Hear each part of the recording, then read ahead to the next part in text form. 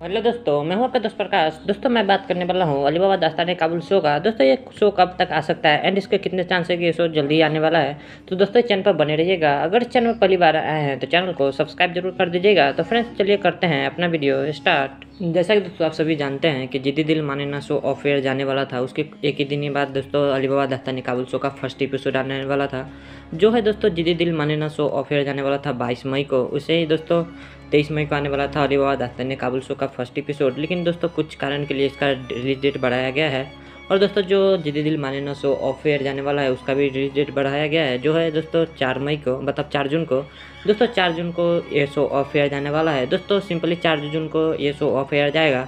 तो दोस्तों, Alibaba दास्तानी Kabul show पाँच जून को आने वाला है, लेकिन इसका कोई गारंटी नहीं है कि पाँच जून को आएगा, क्योंकि दोस्तों एक शो ऑफ़ एयर जाने वाला है, जो सब सतरंगी लेकिन दोस्तों, उसका कोई भी ऑफ़ एयर डेट कंफर्म नहीं हुआ है। अगर उसका ऑफ़ एयर डेट कंफर्म होता है तो मैं ज़रूर वीडियो बना दूँगा।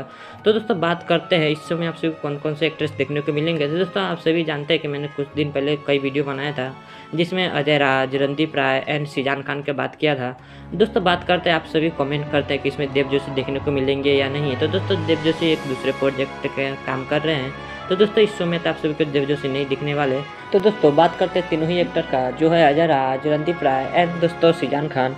दोस्तों, तीनों ही एक्ट्रेस बहुत धासु किस्म का एक्ट्रेस है। एंड दोस्तों ये शो में आप सभी को सीजान खान, अजय राज में कोई भी एक जो सबसे पहले रिलीज़ हुआ था। दोस्तों, अजय राज का नाम सबसे पहले रिवील हुआ था। तो दोस्तों कंफर्म है कि वो ये लीड रोल में आ सकते हैं, क्योंकि दोस्तों, कोई भी शो का लीड रोल का सबसे पहले कास्ट दिया जाता है। तो दोस्तों, मुझे जितना चांस है कि अजय राज ही इसमें लीड रोल का किरदार निभा सकते हैं। तो आप सभी को ये जानकारी देना था। ये वीडियो कैसा लगा कमेंट में ज़रूर बता दीजिएगा। दोस्तों, इस वीडियो के लिए ज़रूर कर दीजिएगा। तो मिलते हैं फिर अगले वीडियो में। तब तक के लिए थैंक यू जय हिंद।